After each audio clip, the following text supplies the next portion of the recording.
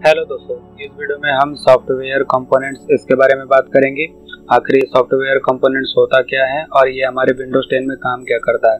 तो सबसे पहले दोस्तों मैं आपको ये बता देता हूँ, आप इस ऑप्शन तक आएँगे कैसे? उसके बाद आपको इसके अंदर क्या चीज़ें करनी है, मैं आपको डिटेल में बताऊँगा। तो सबसे पहले मैं इसको कट कर देता हूँ और आपको स्टार्टिंग से बता देता हूँ कि इसके अंदर आपको करना क्या है। तो इन सबको मैं कट कर देता हूँ। तो दोस्तों, उस वाले पेज तक पहुँचने के लिए आप यहाँ सर्चिंग पे आइए और यहाँ से कंट्रोल पैनल लिख दीजिए। आप कंट्रोल पैनल में कहीं से भी जा सकते हैं, मुझे यहाँ से जाने में इजली पड़ता है। उसके बाद दोस्तों, आपको ये व्यू बाय में स्मॉल आइकन पे रखना है, तभी आपको एक ऐसा पेज देखने को मिलेगा। यहाँ पे दोस्तों, आपको डिवाइस मैनेजर इस वाले ऑप्शन के ऊपर क्लिक कर देना है। इसके ऊपर क्लिक करेंगे तो देखिए कैसा पेज आ जाएगा तो इसको मैं थोड़ा बड़ा कर देता हूँ। दोस्तों, यहाँ पे आएँगे तो आपको ये लास्ट में सॉफ्टवेयर कंपोनेंट्स वाला ऑप्शन मिल जाएगा।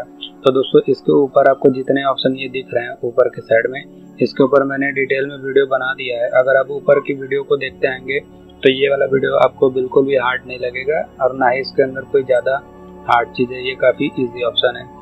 तो दोस्तों, आप जानते हैं ये सॉफ्टवेयर क्या होता है। दोस्तों, हमारे कंप्यूटर का वह पार्ट जिसे हम देख तो सकते हैं, लेकिन छू नहीं सकते, वो हमारा सॉफ्टवेयर कहलाता है। जैसे दोस्तों आपके सिस्टम में जो ये एप्लीकेशन वगैरह इंस्टॉल होती है आपके सिस्टम में जो ये एप्लीकेशन वगैरह इंस्टॉल है ये एक तरीके का सॉफ्टवेयर है। और आपके सिस्टम में जो ऑपरेटिंग सिस्टम डलता है वो भी क्या एक तरीके का सॉफ्टवेयर है। तो दोस्तों यही सब चीज़ें सॉफ्टवेयर होती है। और आप सॉफ्टवेयर के बारे में जानते ही होंगे। मैं इसको ज़्यादा डिटेल में कवर कर, करूँगा नहीं क्योंकि आप सॉफ्टवेयर जानते ही होंगे। अब कंपोनेंट्स क्या होते हैं दोस्तों? जो जो हमारा सॉफ्टवेयर होता है वो काफ़ी छोटे छोटे पार्ट से मिल के बना होता है। तो उसे ही हम कंपोनेंट्स कहते हैं। यानी दोस्तों, जो हमारा कंप्लीट सॉफ्टवेयर होता है, उसको छोटे छोटे पार्ट्स के अंदर डिवाइड करके बनाया जाता है, वही हमारा कंपोनेंट्स होता है। तो दोस्तों, जब आप किसी सॉफ्टवेयर को अपने कंप्यूटर में चलाते हैं या रन करते हैं तो उसके सारे कंपोनेंट्स एक साथ काम करते हैं। तो उसके बीच में जो कम्युनिकेशन का कार्य होता है, जो कम्युनिकेशन कराता है उनके कंपोनेंट्स को उसका यही वाला हमारा जो हिस्सा होता है, यही करवाता है।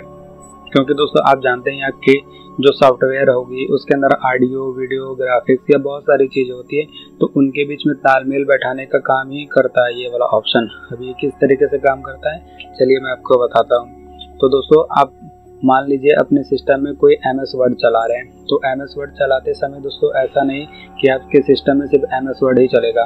उस एम एस वर्ड को चलाने के लिए भी काफ़ी सारे आपके सिस्टम के कंपोनेंट्स यूज़ होते हैं। जैसे छोटे छोटे आपने देखा होगा कि दोस्तों आपके सिस्टम में कंपोनेंट्स होते हैं।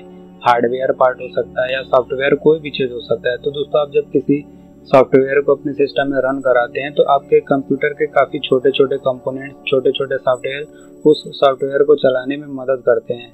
ऐसा नहीं कि सिर्फ़ वही सिस्टम होता है जो उसको चला सके। तो दोस्तों यही होते हैं हमारे सॉफ्टवेयर कंपोनेंट्स यानी किसी एप्लीकेशन को चलाने के लिए जो जो भी सॉफ्टवेयर यूज़ होता है, उसे ही हम उसके कंपोनेंट्स कहते हैं। अब दोस्तों, मान लीजिए आप किसी दूसरी एप्लीकेशन को चला रहे हैं। मान लीजिए एम एस एक्सल तो दोस्तों, जब आप एम एस एक्सल को चलाएँगे तो उसको भी चलाने के लिए आपके कंप्यूटर के छोटे छोटे सॉफ्टवेयर यूज़ होंगे। ऐसा नहीं कि सिर्फ़ आपके सिस्टम में एम एस एक्सल ही चलेगा। उस एम एस एक्सल को चलाने के लिए भी काफ़ी छोटे छोटे आपके सिस्टम के सॉफ्टवेयर यूज़ होते हैं।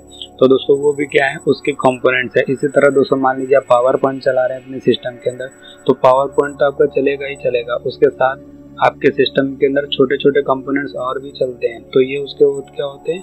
कंपोनेंट्स तो दोस्तों, आप देख रहे हैं कि आप अपने सिस्टम में कोई भी एप्लीकेशन रन करिए, चाहे M S Word M S Excel PowerPoint या कोई गेम वगैरह भी क्यों ना हुआ। दोस्तों, आप किसी भी एप्लीकेशन या सॉफ्टवेयर को जब भी अपने सिस्टम में रन कराते हैं तो आपके सिस्टम के काफ़ी सारे छोटे छोटे जो कंपोनेंट्स होते हैं, वो यूज़ होते हैं। तो दोस्तों उनके बीच में जो तालमेल बैठाने का काम होता है, जो उनके बीच में आपस में कम्युनिकेशन का काम होता है, ये इसी के द्वारा हैंडल किया जाता है। क्योंकि दोस्तों, जब तक सभी कंपोनेंट्स एक साथ मिलकर काम नहीं करेंगे, हमारा वो जो सॉफ्टवेयर होता है, वो प्रॉपरली नहीं चल पाता। जब दोस्तों वो प्रॉपरली नहीं चलेगा तो हमें ईरर वगैरह देगा, ये बताएगा कि दिस सॉफ्टवेयर इज़ डैमेज या इस तरह का इंटरप्टेड इसी तरह का हमको ये मैसेज वगैरह आता है तो दोस्तों इसको फिक्स वगैरह करने के लिए ये वाला ऑप्शन यूज़ होता है। क्योंकि दोस्तों अगर हम इस ऑप्शन को अपडेट वगैरह रखेंगे अब तो हमारा सिस्टम काफ़ी अच्छा चलता है। तो दोस्तों इसको अपडेट करना ज़्यादा हार्ड नहीं है। आप इसके ऊपर क्लिक करिए। आपको देखिए एक जेनरिक सॉफ्टवेयर कंपोनेंट्स वाला ऑप्शन मिल जाएगा।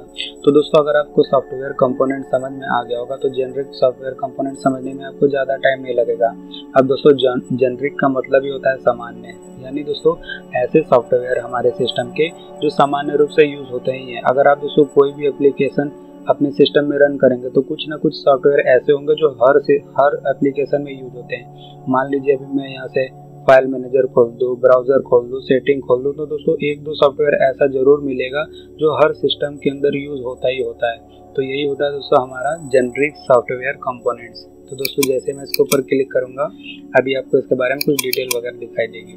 देखिए दोस्तों यहाँ पे दिख जाएगा, यहाँ पे डिवाइस टाइप है सॉफ्टवेयर कंपोनेंट इसको मैन्युफैक्चर माइक्रोसॉफ्ट ने किया है। और ये होता क्या है, हमारा ग्राफिक्स कार्ड में क्योंकि दोस्तों आप जानते हैं ये ग्राफिक्स के कार्ड वो एक ऐसा सिस्टम है जो हर सॉफ्टवेयर को डिस्प्ले करवाने में मदद करता है। आपके सिस्टम में दोस्तों जो भी एप्लीकेशन होगा या जो भी एप्स वगैरह होगी, वो तभी काम करेगी जब हमारा मॉनिटर काम करेगा। और दोस्तों हमारा मॉनिटर तभी काम करता है जब उसके अंदर का ग्राफिक्स कार्ड सही हो। यानी दोस्तों ग्राफिक्स कार्ड के अंदर का जो सॉफ्टवेयर होता है या जो उससे रिलेटेड कंपोनेंट्स होते हैं, वो हर एप्लीकेशन को चलाने में मदद करते हैं। तो दोस्तों ये एक तरीके का जेनरिक सॉफ्टवेयर है, जो कि जेनरिक कंपोनेंट्स है, दोस्तों, सॉफ्टवेयर नहीं बोल सकते इसको कंपोनेंट बोल सकते हैं, जो हर एप्लीकेशन को या हर सॉफ्टवेयर को चलाने के लिए मदद करता है। तो होप दोस्तों आपको ये समझ में आ गया होगा। दोस्तों, अगर आपके सिस्टम में एप्लीकेशन रन वगैरह होने में कुछ प्रॉब्लम आती है तो आप इसके ड्राइवर को थोड़ा अपडेट वगैरह कर दीजिएगा। इसको अपडेट करने का प्रोसेस वही है, आप ड्राइवर में आइए, ये अपडेट के ऊपर क्लिक कीजिए सर्च फॉर ऑटोमेटिक ड्राइव इसके ऊपर क्लिक कर दीजिए तो ये आपका अपडेट वगैरह हो जाएगा। वैसे मेरे में पहले से अपडेट है तो ये अपडेट नहीं लेगा, लेकिन अगर आप में अपडेट नहीं होगा तो ये अपडेट हो जाएगा। तो दोस्तों, इसको अपडेट करने के लिए आप इंटरनेट से कनेक्ट करके रखिएगा। मैंने अभी कनेक्ट नहीं किया है, क्योंकि मेरा ये अपडेट है तो मुझे इसको अपडेट वगैरह नहीं करना है। अगर आपको करना होगा तो कर लीजिएगा। तो दोस्तों, अब अगले ऑप्शन के बारे में बात करते हैं। अगला है डिटेल और इवेंट दोस्तों डिटेल और इवेंट इतना ज़्यादा इंपॉर्टेंट नहीं है। अगर दोस्तों अब ये मेरा ऊपर का ये सब वीडियो देखते आए होंगे तो इसके अंदर आपको ज़्यादा परेशानी नहीं होगी। इसके अंदर भी वही सब चीज़ें जो मैं ऊपर बताता आया हूँ। तो दोस्तों, अब मैं इसको बंद कर देता हूँ। तो दोस्तों, आज के वीडियो में इतना ही। होप आपको ये सॉफ्टवेयर कंपोनेंट समझ में आया। क्योंकि दोस्तों, इसके अंदर जो इम्पोर्टेंट पॉइंट था, मैंने आपको बता दिया। फिर भी दोस्तों, अगर आपको कुछ और पूछना है, कुछ और जानना है तो आप हमें कमेंट सेक्शन के द्वारा पूछ सक पूछ सकते हैं। कमेंट सेक्शन आपके लिए खुला रहता है। तो दोस्तों, आज की वीडियो में इतना ही। होप आपको वीडियो अच्छा लगा। दोस्तों, वीडियो अच्छा लगा, इसको लाइक करके जाइएगा। चैनल पर पहली बार हैं, इसको सब्सक्राइब करके जाइएगा। मैं मिलता हूँ आपको नेक्स्ट वीडियो में, नेक्स्ट टॉपिक के साथ। तब तक के लिए जय हिंद।